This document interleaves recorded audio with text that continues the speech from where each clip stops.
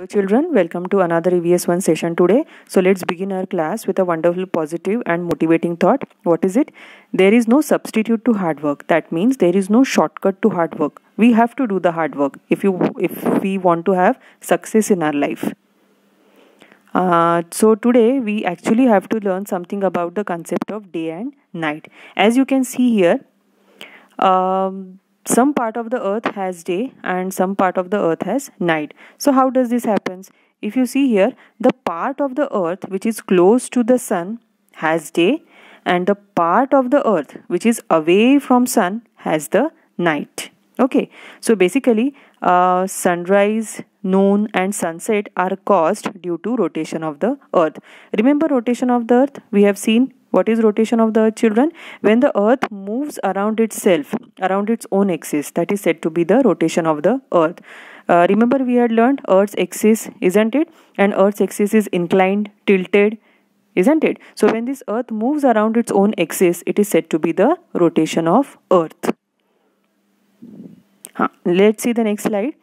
Uh, what is day uh, the period of time the earth takes to complete one rotation is called a day. Okay you can see here. So when earth completes its one rotation around itself that period is said to be a day. So how we have divided this day? We have divided this day into 24 hours. You know this isn't it? So again i want to repeat this.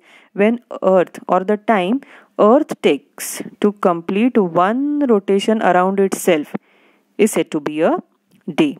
Okay? When earth moves around itself. Okay? The that particular time is said to be a day. Okay? So the period of time the earth takes to complete one rotation around itself is said to be a day. And each day is divided into 24 hours. Yes. Let's move ahead a year okay? So the time earth takes to complete one revolution around the sun is called a year. Remember something about the revolution children? What is revolution of earth?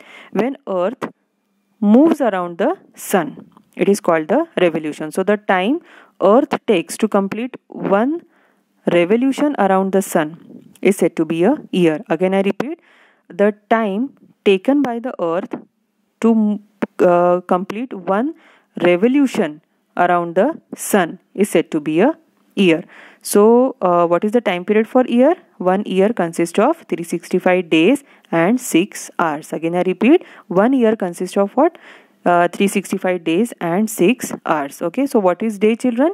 Uh, when earth, the time uh, which is taken by the earth to complete one rotation around itself is said to be the day.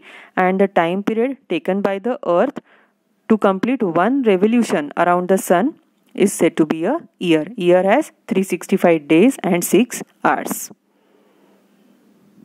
Yes. So what we have learned today children? The period of time the earth takes to complete one rotation around itself is called a day. Each day has 24 hours. The period of time the earth takes to complete one revolution around the sun, to move around the sun is called a year. Basically what children? Uh, the time period taken by earth to move around itself is said to be a day and the time taken by the earth to move around the sun is said to be a year. A year consists of 365 days and 6 hours. So what is your today's homework children? You have to write points written under the heading what we have learned for two times in your notebook. Okay, that is about the day and a year. So these points you will write down in your notebook. That's all for today's lesson children.